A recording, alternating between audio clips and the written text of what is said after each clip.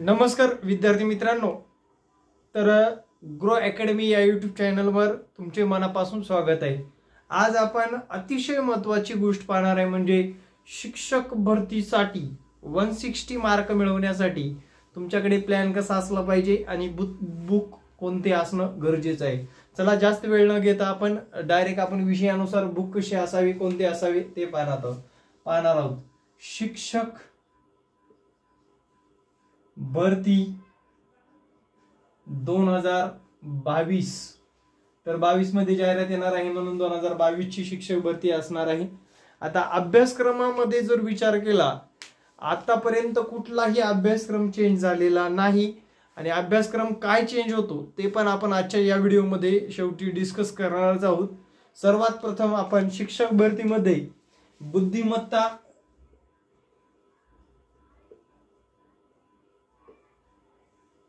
आणि जे की अभियोग्यता असे दोन मार्क पडतात. आणि बुद्धिमत्तेसाठी ऐंशी प्रश्न अभियोग्यतेसाठी एकशे वीस प्रश्न विचारले जाणार आहेत. याच्यामध्ये आता पुस्तक लिस्ट कोणती वापरायची? तर विद्यार्थी मित्रांनो संभ्रम डोक्यातला एक काढून टाका. एक पुस्तक वाचून आपल्याला ही परीक्षा चांगल्या गुणाने पास होता येणार नाही. त्यासाठी तुम्हाला काही बुक्स तुमच्याकडे असणं गरजेचं आहे. आणि ते दर्जेदार असणं गरजेचं आहे. आता तुम्ही गाईड वापरत असाल किंवा मार्गदर्शक पुस्तिका वापरत असाल किंवा प्रश्नसंच वापरत असाल तर ते पास होणार नाही. किंवा तुम्ही फ्रीमधले व्हिडिओ बघत असाल तरी पास होणार नाही. लक्षात घ्या. योग्य मार्गदर्शन आणि योग्य पुस्तक लिस्ट तुमच्याकडे असणं गरजेचं आहे. आता सर्वात प्रथम बुद्धिमत्तेकडे जाऊ आपण. फक्त इकडला एक विषय मी इकडे आणणार आहे. गणित पण इकडेच आणणार आहे. कारण एकमेकाच्या रिलेटेड असल्यामुळे आपण गणित याच बाजूला घेऊ. म्हणजे इकडे उरतात किती मार्क किती उरतात इकडे? म्हणजे एकशे दहा. इकडे फक्त आणि फक्त नव्वद मार्क उरतात. कारण गणित इकडल्या साईडला आणले. याच्यामध्ये तीस प्रश्न ऍड झाले. म्हणजे एकशे दहा मार्क या साईडला आले. नव्वद मार्क फक्त अभियोग्यतेमध्ये उरलेले आहेत. आता अभियोग्यतेमध्ये कोणते बुक्स आहेत बघा? मराठी. त्यानंतर इंग्रजी. तर मराठीसाठी मोरा वाळंबे सरांचं पुस्तक वापरा. पैकीच्या पैकी गुण मिळवायचे तुम्हाला. व्याकरण प्लस शब्दसंग्रह या घटकामध्ये तुम्हाला साधारण पंधरा ते वीस प्रश्न विचारले जातात. निश्चित नाहीये बरं का? पंधरा विचारतील का वीस विचारतील सांगता येत नाही. काही परीक्षेमध्ये वीस प्रश्न पण आहेत. काही परीक्षेमध्ये पंधरा पेपर पेपरमध्ये काही पेपरमध्ये पंधरा क्वेश्चन आहेत तर काही पेपरमध्ये वीस क्वेश्चन आहेत. आणि होकॅबलरी आणि शब्दसंग्रह आणि याच्यावर व्याकरणावर आधारित पंधरा वीस क्वेश्चन तुम्हाला विचारले जातात. इंग्रजीचं तुम्हाला बाळासाहेब शिंदे सरांचं किंवा एम जे शेख सरांचं वापरू शकता मित्रांनो. बाळासाहेब शिंदे सरांचं किंवा एम जे शेख सरांचं बुक्स वापरू शकता. मराठी आणि इंग्रजीचं आपण पाहिलं. त्याच्या पुढे जाऊन तुम्हाला इथे एक व्यक्तिमत्व विकास किंवा व्यक्तिमत्व विकास. बालमानसशास्त्र याच्यावरला घटक आहे हा. आणि याच्यामध्ये तुम्हाला तीस प्रश्न विचारले जाणार आहेत. या दोन घटकामध्ये तीस प्रश्न विचारले जातात. आणि या व्यक्तिमत्व विकासासाठी कुठले पुस्तक वापरायचे? आता विद्यार्थी मित्रांनो याच्यासाठी वेगळं काही करू नका. जे सांगतोय ते करा. आणि त्याच्यावर जास्त भर द्या. एक तर तुम्ही फडके प्रकाशन वापरू शकता. फडके प्रकाशनचं पुस्तक वापरू शकता. किंवा निराली प्रकाशन वापरा. आणि सर्वात महत्वाचं तुम्ही डीएड आणि बीएड केलेला. आहात डीएड बीएडला तुमच्याकडे जर ते बालमानसशास्त्राचे बुक असतील तर एकदा केअरफुली रीड करून घ्या. आणि एकदा दोनदाच रीड करा. जास्त वेळ करायची गरज नाही. याच्यासाठी काही वेगळं करायची गरज नाही. प्लस आपल्या ग्रो अकॅडमीला अनेक व्हिडिओ टाकणार आहे मी. आणि जे विद्यार्थी क्लास जॉईन करतायत त्यांना दीड हजार एम सी क्यूज सुद्धा देणार आहे मित्रांनो. ते शेवटी सांगणारच आहे मी तुम्हाला कशा पद्धतीने अभ्यास करायचा कोणती गोष्ट करायची. त्यानंतर आहे जे की आपलं सामान्य ज्ञान. याच्यामध्ये साधारण दहा ते बारा क्वेश्चन तुमचे कशावर आधारित असणार आहेत? चालू घडामोडी घटकावर आधारित असणार आहेत. साहित्य घटकावर आधारित असणार आहे. सामान्य ज्ञानाचा जर विचार केला तर यासाठी तुम्हाला बुक्स वापरायचे कोणती तर तुम्हाला पाठ्यक्रम वाचून घ्यायचे याच्यासाठी. आणि हे पाठ्यक्रम सुद्धा आपण ई नोटच्या माध्यमातून दिलेले आहेत. जे विद्यार्थी आपल्याशी जोडले गेलेले आहेत त्यांना ई नोटच्या माध्यमातून पाठ्यक्रम इतिहास असेल भूगोल असेल नागरिकशास्त्र पंचायत राज शैक्षणिक कायदे या सर्व गोष्टी इथे इन्क्लूड केलेल्या आहेत. त्यासाठी तुम्हाला संपर्क क्रमांक सुद्धा देतो. या संपर्क क्रमांकावर संपर्क साधून तुम्ही क्लास जॉईन करू शकता आणि विद्यार्थी मित्रांनो नोट सुद्धा मिळवू शकता. आता त्यानंतर गणित आणि बुद्धिमत्ता हे महत्त्वाचे विषय आहे आता हे याला पण तीस गुण देण्यात आलेले आहेत. आता गणित बुद्धिमत्तेचा जर विचार केला पुस्तक सूची कोणती वापरायची? सर्वात प्रथम तुम्हाला वापरायचं आहे स्कॉलरशिपचे बुक स्कॉलरशिप बुक त्यानंतर विद्यार्थी मित्रांनो पाठ्यक्रम वाचन करायचे पाठ्यक्रम सुद्धा करायचे आहे. त्याच्यामध्ये आठवी नववी आणि दहावीचे गणित आणि भूमिती या विषयाचे बुक करायचे आहे. आणि स्कॉलरशिपमध्ये मॅथ अँड रिझनिंग दोन्ही करायचे. मॅथ अँड रिझनिंगचे दोन्ही बुक्स रेफर करायचे आहेत. यातले साधारणपणे सत्तर टक्के प्रश्न तुमचे या घटकावरील असणार आहेत. म्हणजे एक साधारण सत्तर ते ऐंशी प्रश्न स्कॉलरशिपच्या बुक मधून येणार आहेत. त्या व्यतिरिक्त तुम्हाला गणितासाठी पंढरीनाथ राणे आणि अनिल अंकलगी बुद्धिमत्तेसाठी वापरू शकता अनिल अंकलगी बुद्धिमत्तेसाठी वापरू शकता. तर विद्यार्थी मित्रांनो आता आपली वन सिक्स्टी कशी असणार आहे बघा लक्षात घ्या. इथे सांगतो मी तुम्हाला. तुम्ही जर गणित बुद्धिमत्तेमध्ये शंभर मार्क घेतलो एकशे दहा पैकी शंभर मार्क घेतलात आता मराठी इंग्रजीमध्ये वीसच मार्क घ्या. काही अडचण नाही. दहा मार्क आपण सोडून देऊ देवाला देऊन टाकू. आणि याच्यामध्ये सुद्धा वीस मार्क घ्या. आणि हे चालू घडामोडी आणि सामान्य ज्ञानमध्ये तुम्ही प्लस वीस मार्क घ्या. विद्यार्थी मित्रांनो तुम्हाला कुणीही अडवू शकणार नाही वन सिक्स्टी प्लस जायला. कुणीही अडवू शकणार नाही. पण दर्जेदार बुक्स वापरायचे. एक बुक वापरून चालणार नाही. एक बुक्स मधून तुम्हाला कोणतीही गोष्ट साध्य होणार नाही. आणि विद्यार्थी मित्रांनो या व्यतिरिक्त तुम्हाला वेळ नाही. तुमच्याकडे बुक्स घेण्याची परिस्थिती नाही. अशा कारण द्यायची गरज नाही. कारण ही परीक्षा तुमच्या खऱ्या अर्थाने गुणवत्ता चेक करणारी असणार आहे. बुक्सची लिस्ट कळाली असेल लिहून ठेवा. वाटलं तर स्क्रीनशॉट मारून घ्या. अशा पद्धतीने तुमचे बुक्स असणं गरजेचं आहे. आता हे डीएड बीएडची पुस्तकं वापरा म्हटलंय तेच वापरा. वेगळं काही करायची गरज नाही. प्लस आपली क्लासच्या माध्यमातून दीड हजार एम सी क्यूज देणारच आहे मी. त्यानंतर विद्यार्थी मित्रांनो लक्षात घ्या. यासाठी आता वन सिक्स्टीचं प्लॅनिंग कसलं असं असलं पाहिजे. साधारण किती तास अभ्यास केला पाहिजे? कधीपासून करणं गरजेचं आहे? आता लक्षात आलं असेल तुमच्या बुक्स लिस्ट झाली. तर विद्यार्थी मित्रांनो बाजारामध्ये पुस्तकाची कमतरता भरपूर आहे. एक पुस्तक घेऊन चालणार नाही. हे रेफरन्स बुक आहेत हे वापरा. तुम्हाला अडचण येणारच नाही. त्यानंतरची गोष्ट अशी आहे तुम्हाला जर याच्यामध्ये प्रश्नपत्रिका एक ऍड करायची. कधीच्या? दोन हजार सतराच्या. आपल्याला कसा प्रश्न विचारला गेलेला आहे? आता रोज जर एक प्रश्नपत्रिका आपण निस्ती न्याळली तरी आपल्याला बुक्स कसे वापरायचे हे लगेच लक्षात येणार आहे. म्हणजे बघा समजा समजा आता ही दोनशे मार्काची प्रश्नपत्रिका आहे. तुम्ही लगेच इथं मराठीमध्ये किती प्रश्न विचारले? पंधरा प्रश्न विचारले. इंग्रजीमध्ये किती विचारले? पंधरा विचारले. बुद्धिमत्तेवर नव्वद प्रश्न विचारलेले आहेत. गणितावर वीसच प्रश्न विचारलेले आहेत. हे असं लक्षात आणायचंय तुम्हाला.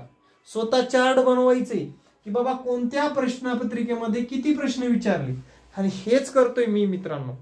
मग तुम्हाला ते आता गणित आणि बुद्धिमत्तेमध्ये बेसिकवर किती आहे? ऍडव्हान्स वर किती आहे? आणि तुम्हाला इथे ऍडव्हान्स किती आहेत आणि स्पर्धा परीक्षेमधले किती आहे? तर विद्यार्थी मित्रांनो मला प्रत्येक प्रश्नपत्रिकेमध्ये एक गोष्ट प्रकर्षाने जाणवलेली आहे. बेसिकवर तुमचं साधारणपणे नव्वद एकशे दहा पैकी एकशे दहा पैकी म्हणतोय. एकशे दहा पैकी गुण आधारित आहेत ऐंशी. ॲडव्हान्सवर वीस आणि स्पर्धा परीक्षेचे दहाच गुण आहेत. आता हे बेसिक कुठून पक्क करायचे? स्कॉलरशिपच्या माध्यमातून करायचं. स्कॉलरशिपचं रिव्हिजन आता मी कोणताही टॉपिक शिकवताना सर्वात प्रथम तुम्हाला स्कॉलरशिप मधले उदाहरणे घेतो. त्यानंतर तुम्हाला ऍडव्हान्स काय विचारले ते घेतो. आणि स्पर्धा परीक्षे ओरिएंटेड काय आहे हे पाहतो. आता व्याकरणाच्या बाबतीत जर समजा मराठी असेल इंग्रजी असेल जी एस जी के असेल. आता तुम्हाला याच्यामध्ये काय गोष्ट महत्वाची आहे? किंवा बालमानसशास्त्रामध्ये काय गोष्ट महत्वाची आहे? तर मराठी व्याकरणमध्ये तुम्हाला व्याकरण किती विचारले? व्याकरण साधारण दहाच विचारले सॉरी पाचच प्रश्न विचारले आणि शब्दसंग्रह दहा आहेत. शब्दसंग्रह दहा आहेत. तसंच बघा आता या शब्दसंग्रहाचे मार्क गेले नाही पाहिजे तुमची. लक्षात घ्या. म्हणजे तुमचं वन सिक्स्टी होण्यासाठी तुम्ही शंभर जर मॅथ रिजनिंगमध्ये घेतलात या शब्दसंग्रहाचे दहा क्वेश्चन तुमचे बरोबर आले. त्यानंतर इंग्रजीचे जर व्याकरणाचेच पाच बरोबर आणायचे आपल्याला. व्याकरणाचे पाच बरोबर आणायचे. म्हणजे हे पाच झाले बघा. आणि ह्या व्याकरणामध्ये आपल्याला बऱ्यापैकी जमतं समजा. आपण वाचन केलेलं आहे. त्याचे तीन चार क्वेश्चन बरोबर आले. आणि शब्दसंग्रहाचे दोन क्वेश्चन बरोबर आले. तुमचे झाले का हो इथे वीस? म्हणजे मराठी इंग्रजीचे तुमचे वीस झाले. चला मराठी इंग्रजी. इंग्रजी वीस गुण तुमचे इथे ऍड झालेले आहेत. आता जी जी के चालू घडामोडीवर दहा क्वेश्चन आहेत आणि जी केवर तुमचे बाकीचे अवलंबून आहेत. त्यामधले तुम्हाला वीस क्वेश्चन मिळवायचे आणि मित्रांनो निश्चिंत राहा बालमानसशास्त्राचं जास्त मटेरियल गोळा करण्याच्या मागे लागू नका किंवा जास्त अभ्यास करून वेळ वाया घालवू नका. तिथे तुम्हाला साधारणपणे बारा ते पंधरा क्वेश्चन तुमचे ऑटोमॅटिक बरोबर येणार आहेत तुमच्या वाचनावर तुमच्या गुणवत्तेवर. अरे कुणीही बसवा ज्याचा डीएड बीएडचा काही संबंध नाही त्यांनी सुद्धा जे ते प्रश्न सोडवले तर ते प्रश्न तुमचे बरोबर असणार आहेत. त्यामुळे ते प्रश्न तुमचे वीस गुण तुमच्या अजिबात हातले जाणार नाही जीएस जीकेचे वीस गुण आणि हे वीस गुण. तर साधारणपणे बालमानसशास्त्राचे वीस गुण. अशा पद्धतीने हे तुमचे हे साठ गुण या नव्वद प्रश्नामधून मिळवायचे. कुठून? अभियोगितेमधून साठ गुण मिळवायचे आणि गणित बुद्धिमत्तेमधून शंभर खाली आलाच नाही पाहिजे. त्यासाठी तुम्हाला योग्य मार्गदर्शन हवं असतं. आणि ते आपण देत असतो विद्यार्थी मित्रांनो क्लासच्या माध्यमातून. या नंबरवर व्हॉट्सअप करून तुम्ही क्लासची माहिती मिळवू शकता. त्यानंतरचा विषय आहे किती तास अभ्यास करायचा? दिवसभरामध्ये सर किती तास रिअलमध्ये अभ्यास करणं गरजेचं आहे?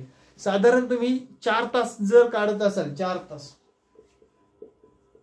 त्यातले दोन तास हे तुमचे गणित बुद्धिमत्ता या घटकासाठीच असले पाहिजे. आता सध्या चार तास काढला तर काय अडचण नाही. पुढे परीक्षेपूर्वी आफ्टर नोव्हेंबर नोव्हेंबर नंतर तुम्हाला आठ तास अभ्यास करायचे म्हणजे करायचेच. सर मी कसं करू? मी जॉब करते माझ्या घरचा प्रॉब्लेम आहे माझं चाइल्ड लहान आहे म्हणजे मूल लहान आहे. असे कारण देत बसू नका. तुमचं काहीही झालं तर मेरिट कमी लागणार आहे का? या गोष्टी खूप महत्त्वाच्या आहेत. मेरिट कमी लागत नाही. त्यासाठी तुम्हाला दर्जेदार पुस्तक आणि सांगतोय मी पुस्तके मार्गदर्शन आणि प्रश्नपत्रिका. ही त्रिसूत्री जमली तरच तुम्हाला येणाऱ्या काळामध्ये टेट एक्झाममध्ये पास होता येणार आहे. सगळ्यात महत्वाचं म्हणजे तुमची वेळ खूप महत्वाची असते. तुम्ही पुस्तक आहेत मार्गदर्शन आहेत ज्ञान आहे. तुमच्याकडे ज्ञान आहे पण त्या वेळेत तुम्हाला जमलं नाही. त्या टाईममध्ये तुम्हाला जमलं नाही. तुम्ही भरपूर म्हणजे शाळेमध्ये मुख्याध्यापकात तुम्हाला इन्फ्लुएंट इंग्लिश बोलता येते वाचता येते लिहिता येते पण काही विषयापुरतं मर्यादित आहात तुम्ही. आणि अदरवाईज तुम्ही जर विचार करा विद्यार्थी मित्रांनो तुम्हाला आता पाच हजार पगार आहे. किती? पाच हजार. या चार महिन्यामध्ये मेहनत करून तुम्हाला इथे वीस हजार पगार होणार आहे. म्हणजे शिक्षण सेवकाचा सध्या वीस हजार पगार आहे. अठरा ते वीस हजार पगार आहे. आणि तो वीस हजाराचाच काही दिवसामध्ये तीन वर्ष कंप्लीट झाल्यानंतर ऐंशी हजार पगार होणार आहे. म्हणजे विद्यार्थी मित्रांनो ही जी ग्रोथ आहे त्यासाठी कष्ट महत्त्वाचे.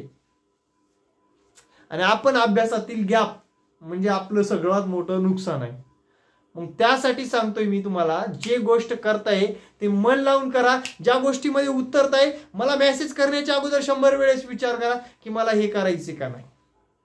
माझ्याकडे भाऊ गर्दीला चान्स नाही. उगच या रे रेकॉर्डिंग बघा रे नोट्स वाचा रे आणि रिझल्टचा पत्ताच नाही. असं असेल तर मला मेसेज नकाच करू. त्यामुळे एक गोष्ट सांगतोय तुम्हाला जर खऱ्या अर्थाने शिक्षक व्हायचे तर गृह अकॅडमीशी जोडले राहा. कायम तुम्हाला मदत करत राहणार आहे. कायम चांगला मार्गदर्शक असणार आहे. आणि कायम मित्रांनो एक वन सिक्स्टी जे मार्काचं टार्गेट आहे ते कंप्लीट करून देण्याचं काम करणार आहे. त्यासाठी तुम्हाला फक्त प्रामाणिक राहायचंय आणि ज्या गोष्टी सांगतोय क्लासच्या माध्यमातून असेल क्लास लावल्यानंतर असेल किंवा युट्यूबच्या माध्यमातून असेल ते वेळोवेळी करत राहायचे. तरच येणाऱ्या काळामध्ये तुम्ही सक्सेस होणार आहात. अदरवाईज तुम्ही जर असं उड उड करत राहिलात इकडे काय भेटतंय तिकडे काय भेटतंय ती फ्री भेटते का? काही गोष्टी फ्री भेटतात का? ऑनलाईन फ्री भेटते का? अरे फ्री कसं भेटणार आहे तुम्हाला दर्जेदार? दर्जेदार गोष्टी मिळवायची असेल तर त्याची व्हॅल्यू मोजावीच लागते. तुम्ही जे वेळ देताय जो वेळ आहे तुमच्याकडे आणि ज्या वेळेमध्ये तुम्ही चांगल्या गुणांनी चांगल्या मार्गदर्शनाने जर पुढे वाटचाल केला तर विद्यार्थी मित्रांनो शंभर टक्के यश मिळवू शकणार आहात. नसता मिळवणं अवघड आहे. लक्षात घ्या. कुठेही गेलात तुम्ही तरी मिळणं अवघड आहे. कारण आतापासून का करा म्हणतोय? कारण शिक्षक भरतीला वेळ आहे अजून. साधारणपणे डिसेंबरसाठी आपल्याला दोन ते तीन महिने भेटणार आहेत. डिसेंबरमध्ये जाहिरात आहे फेब्रुवारी मध्ये एक्झाम आहे बऱ्याच गोष्टी आहेत ठीक आहे? लक्षात राहील? आणि अतिशय दुर्दैवी रिझल्ट लागलेला आहे मित्रांनो महाराष्ट्रातला टीईटीचा त्याबद्दल कायम खंत वाटते. कारण आपण महाराष्ट्र घडवाय जातोय. आपण शिक्षक म्हणून अनेक पिढ्या घडवणार आहोत.